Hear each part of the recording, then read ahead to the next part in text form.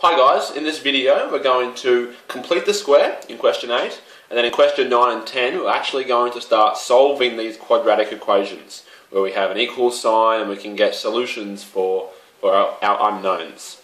So feel free to skip to the question you're after, shown in red.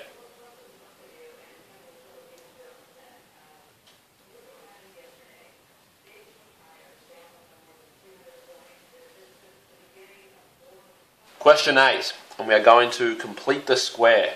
Now completing the square is a technique of factorising.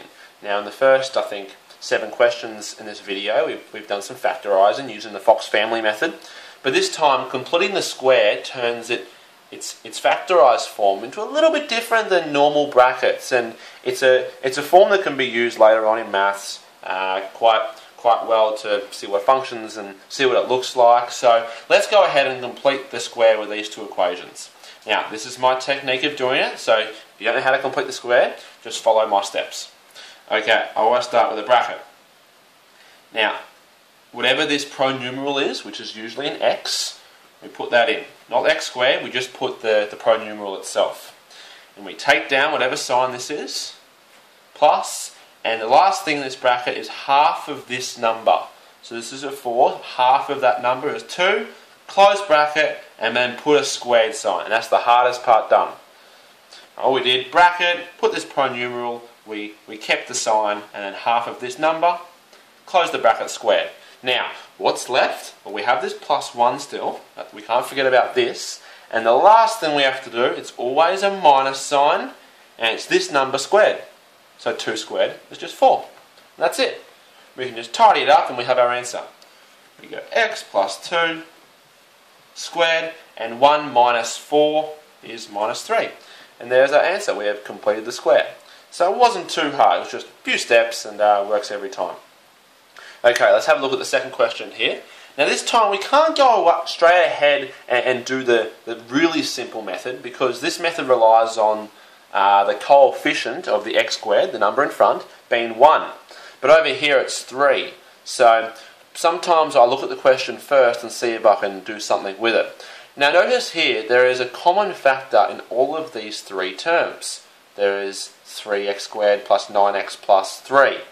Now x isn't common, but there's a number. 3 is common in 3, 9 and 3. So if we have a common uh, number in all of these, we can take it out the front by factorising it. Now what's left? Well, 3 times what will give 3x squared? Well, just x squared. 3 times what will give 9x? Well, this will be 3x. And 3 times 1 will be 3. So, firstly, we factorise it just to get this, this ugly coefficient back down to 1. And now we can complete the square just with this bracket and we'll, we'll put the 3 in at the end. Okay, let's use our completing the square technique. I'm just going to put the 3 in a big bracket at the start and we can, we can sort of forget about that for now. Okay, bracket. This letter, we keep the sign and it's half of this number. Now half of 3 is just going to be 3 over 2. We close the bracket and put a squared sign. That's the hard part done. Now we have to keep whatever's left, so plus 1, and it's always minus this number squared. So this is a little bit of a tricky one with fractions, but I wanted to put it in because sometimes quadratics have fractions. And 9 over 2 squared, well you just square top and bottom. So it's going to be 9 over 4. And because we have to times it by 3, everything we've done here we'll just close the bracket. Okay, let's do a little bit of tidying just to get our final answer. Well, it's going to be 3, big bracket. Okay, we'll go x plus 3 over 2 squared. Now, we're going to have to do a little bit of a subtraction of fractions here. I'm going to rewrite, rewrite 1 as 4 over 4, just so I can uh, subtract this fraction here. Because 4 over 4 minus 9 over 4 will give us negative 5 over 4, right? So that we can change this now to minus 5 over 4. And I'll just rub this out, This just for our reference. And if we put here one more step to, to complete this answer, let's times 3 by everything here. So 3 x plus 3 on 2 squared and 3 times 5 on 4 will just be 15 on 4. And there is our answer when we complete these two, complete the squares. Question 9. Now we're going to use our factorising techniques to solve for x now. Okay, so what is common in both of these terms here? Well, x is common, so I want to put it out here. Let's go x bracket. Now x times what will give us x squared? Will give us x. And x times what will give us minus 4x? Well, just minus 4. Pretty self-explanatory. So we have x bracket, x minus 4 bracket equals 0. We have x multiplied by this bracket equals 0. So we want to know what x is. And, and actually, x might have multiple answers here. And let's, let's sort of have a look why. Well, if x is 0, okay, if we say x is 0, or then, I'm just going to put this in red, just, just for our for our interest sake here, 0 times by, well, 0 minus 4 will be minus 4. That would be 0 times minus 4 is 0. And 0 does equal 0. So, x equals 0 is actually a solution. But it's not the only solution though.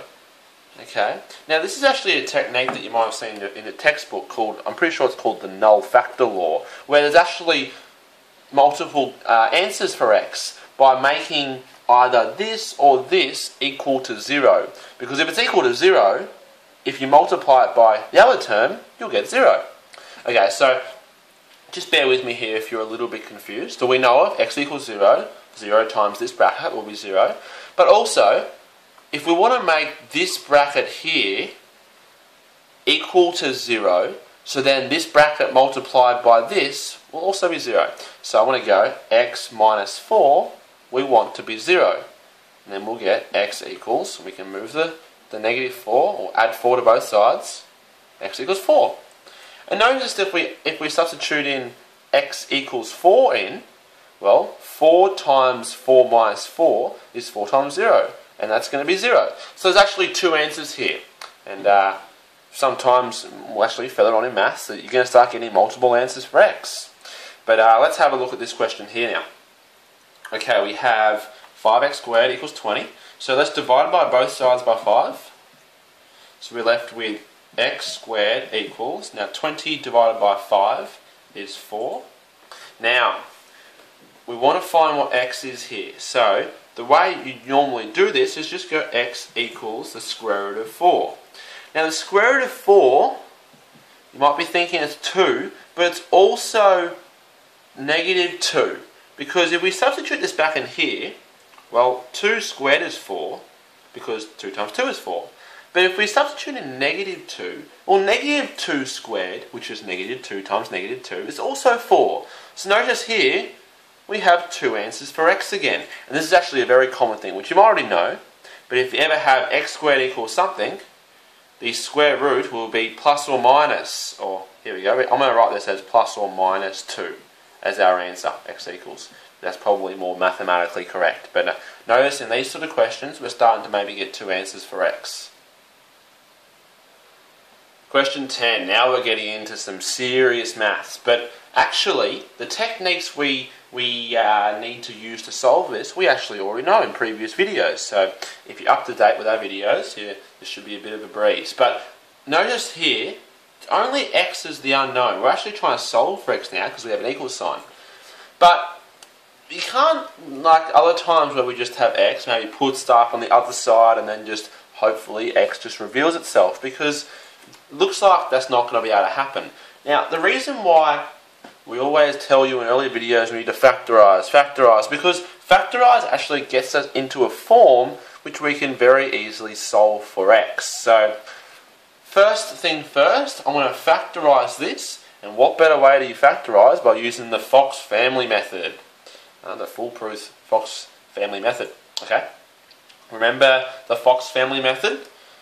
ax squared plus bx plus c and this is the form for a general quadratic equation here. So if we use that, Our a is going to be 1, a number in front of the x squared. Our b is going to be 3. Our c is going to be 2. Now with this, we need to draw up our little, our little technique, Fox family technique. Alrighty, fit in the screen. Okay, this is going to be A times C in this box here. We put line out, line out, another box here, and this is B. And times plus, and we can go ahead and do the Fox family method. So A times C is 1 times 2, so it's just 2, and B is 3. So, the Fox family method requires us to get two numbers, here and here, that multiply to give 2, but add to give 3. Well, this is a pretty easy one because 2 and 1. 2 times 1 equals 2, but 2 plus 1 equals 3. So, from that we can go, because our pronumeral is x, we go x plus 2, x plus 1. All we're doing is substituting our, our answers in. Now we can rewrite our original equation with x plus 2, x plus 1, well, we factorised it, equals 0. Okay, now from here, we can now solve for x using the technique we used in question 9, where, okay, we have on one side of an equal sign, we have some values, and we want it to be equal to 0. So if this whole bracket here happened to equal 0, well, 0 times this bracket will be 0, because 0 times anything is 0. So, if x plus 2 equals 0, and I'm going to go straight to the second step. If this bracket were to equal 0, x plus 1 equals 0, our equation would work. And this means that x equals, we can minus 2 from both sides, and this one here, minus 1 from both sides. And there are our two solutions for x. So, just recapping here, we factorised from here to here using the Fox family method. And then we use that null factor law, where that's just a pretty much fancy way of saying that if we make the bracket equal to zero, we can end up finding the answer. And there we go. So if you want to try question two now, and remember question two, is still using Fox family method to, to factorise, a little bit trickier because there's a number in front of the x squared. Have a go using the same technique and then I'll, I'll solve it now. Okay, this is a this is a little trickier of the Fox family when there's a coefficient that is not 1 in front of the x squared. But again, this seems like a pretty straightforward question. Let's factorise the top line and then use the null factor law and see if we can find some solutions. Okay, our A is 2, B is minus 11, and C is 12, using the coefficients here. Okay, we go. I've done this a million times.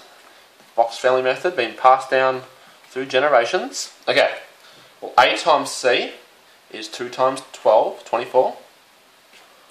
24, good. And B is negative 11. Okay, I need two numbers that multiply to give 24 and add to give negative 11. Now this is sometimes a little bit tricky, but I like to, if, if, there's negative signs here, but I like to just use positive numbers first and then see what we can do with the negative number in there.